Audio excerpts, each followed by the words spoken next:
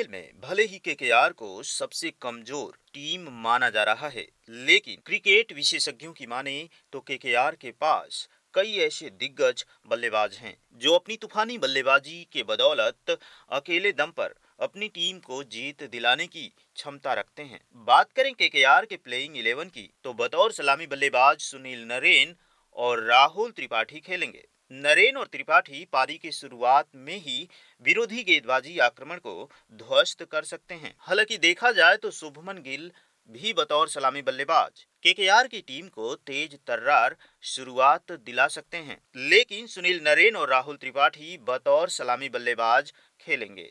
लिहाजा शुभमन गिल तीसरे नंबर पर बल्लेबाजी करेंगे। बात करें चौथे नंबर बल्लेबाज की तो कप्तान योन मॉर्गन चौथे नंबर पर बल्लेबाजी का मोर्चा संभालेंगे, जबकि पाँचवें नंबर पर होंगे बाहुबली बल्लेबाज आंद्रे रशेल। जी हाँ, आपको बता दें कि आंद्रे रशेल केकेआर की टीम में इकलौते ऐसे बल्लेबाज हैं, जिनके लिए कोई भी लक्ष्य हासिल करना नामुमकिन नहीं है। हालाँकि क्रिकेट विशेषज्ञों की माने तो आंद्रे रशेल को बतौर सलामी बल्लेबाज या फिर तीसरे नंबर पर बल्लेबाजी करना चाहिए। बात करें छठे नंबर बल्लेबाज की तो विकेट कीपर बल्लेबाज दिनेश कार्तिक खेलेंगे, जबकि सातवें नंबर पर होंगे नीतीश राणा। केकेआर के लिए अच्छी बात यह है कि Sunil Narine, Andre Russell, Nitish Rana और शाकिब अल हसन गेंदबाजी के साथ साथ बल्लेबाजी के दम पर भी जीत दिलाने की क्षमता रखते हैं। साकिब अल हसन आठवें नंबर पर